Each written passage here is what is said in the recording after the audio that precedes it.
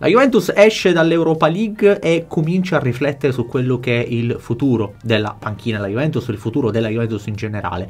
Ma occhio perché se prima sembrava un gruppo coeso con la Juventus pronto a difendere il proprio allenatore, ora cominciano a esserci anche delle lacune, delle problematiche anche per quanto riguarda lo spogliatoio. È evidente ed emerge chiaramente quello che è un malcontento generale, quindi scopriamo nel dettaglio tutto quello che succede perché evidentemente anche lo spogliatoio secondo me sta cominciando a voltare le spalle anche in virtù di quelle che sono le dichiarazioni, voltare le spalle proprio al tecnico eh, bianconero Max Allegri. Scopriamo tutto il dettaglio, analizziamo oggi tutto nel dettaglio. Io vi ricordo come sempre qui su FCM News Sport sarete costantemente aggiornati sulle vicende della Juventus, quindi se vi va iscrivetevi al canale, attivate la campana notifiche e se vi va lasciate un like a questo contenuto. E allora basta vedere le dichiarazioni di eh, Scesni al termine della partita contro il Siviglia. Leggiamole. Se io faccio tante parate non è un buon segnale della nostra prestazione. Sono state parate inutili. Mi dà poca soddisfazione in questo momento, sinceramente. Avrei preferito da una partita da senza voto in pagella, ma passare chiaramente il turno. E sì, perché...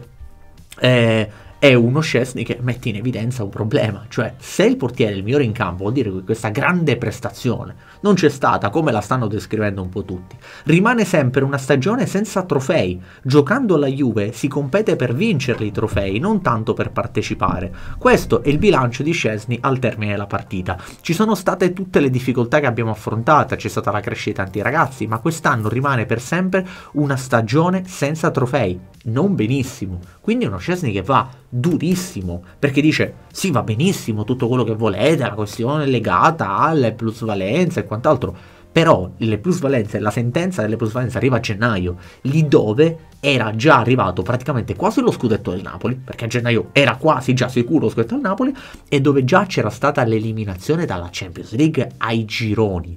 Quindi questo ci fa capire che non sempre la, il discorso legato alle plusvalenze deve, eh, e il processo Juve deve essere una sorta di parafulmine. Questa è una stagione che è cominciata ed è finita in maniera assolutamente fallimentare. E ancora leggiamo, ha fatto ehm, la penalizzazione, parliamo della penalizzazione, Scesni dice ha fatto anche bene lo spogliatoio, ci sentivamo di fare la guerra contro tutto e tutti, poi sentir parlare di sentenze e penalizzazione non aiuta, non so se lunedì ci sarà la nuova penalizzazione, c'è confusione, l'ordine fa bene a una società, eh, quest'anno è stato molto particolare. E anche qui è un modo per dire sì ok, Paradossalmente, se andiamo a analizzare la stagione, il periodo in cui c'è stata la penalizzazione è stato quello in cui l'evento si è fatto meglio.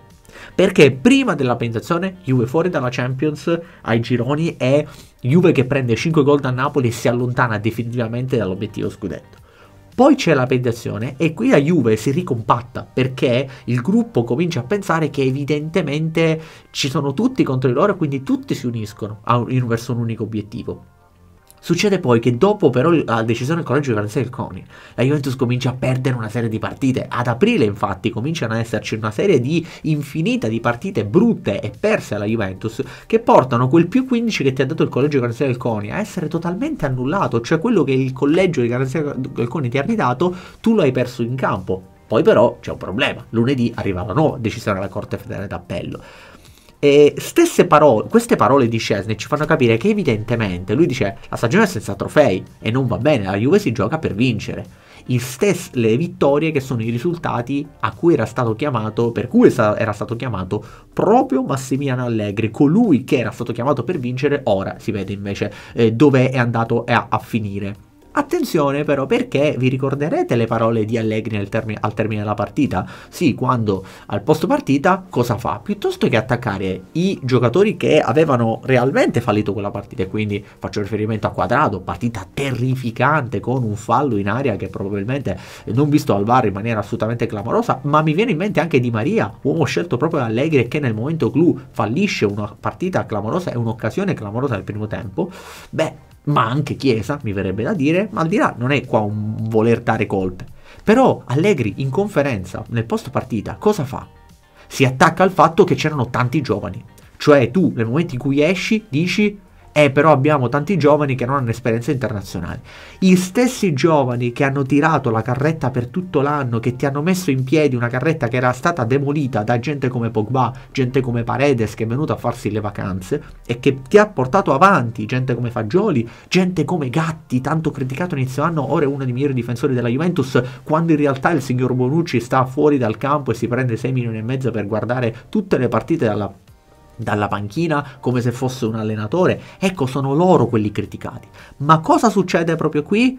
Che invece qui risponde da vero capitano ed è qui che mi piace, ehm, mi piace veramente la scelta di Danilo, perché da vero capitano Danilo dice la colpa non è dei giovani. La responsabilità non se le devono prendere mica i giovani, la responsabilità ce la dobbiamo prendere noi che siamo i veterani.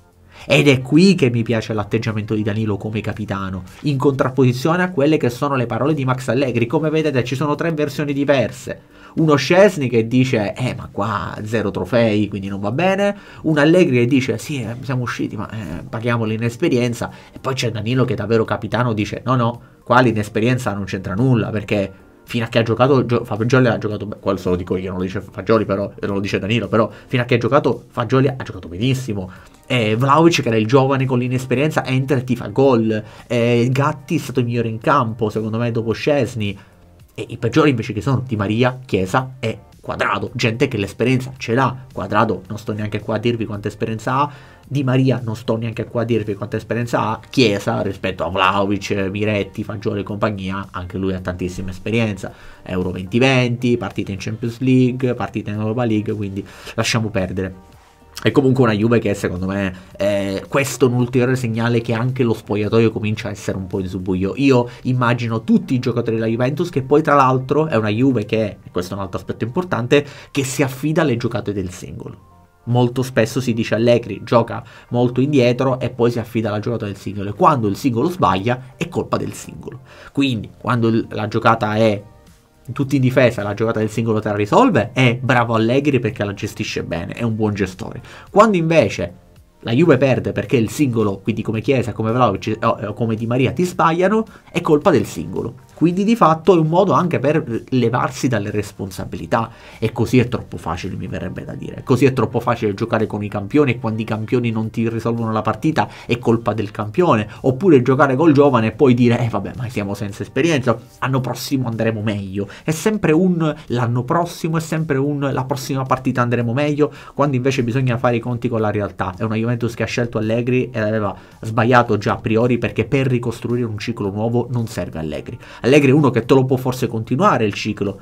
Un Antonio Conte ha aperto un ciclo alla Juve, ma lo ha aperto anche all'Inter. E ora Allegri e Inzaghi sfruttano, meglio, Allegri lo ha fatto prima e Inzaghi lo ha fatto ora all'Inter, hanno sfruttato il lavoro avviato da Antonio Conte, il tanto bistrattato Antonio Conte. Ehm, questa è una situazione che chiaramente ora deve cambiare tutti i piani. Io sono dell'idea che anche lo spogliatoio ora comincia a essere in subbuglio per questa situazione. Voglio sapere però che pensate di questa vicenda e quindi analizziamo il tutto. Secondo voi è giusto cambiare allenatore? È giusto che i giocatori possano anche premere verso la dirigenza per un cambio allenatore che a questo punto, a mio avviso, sembra ormai scontato.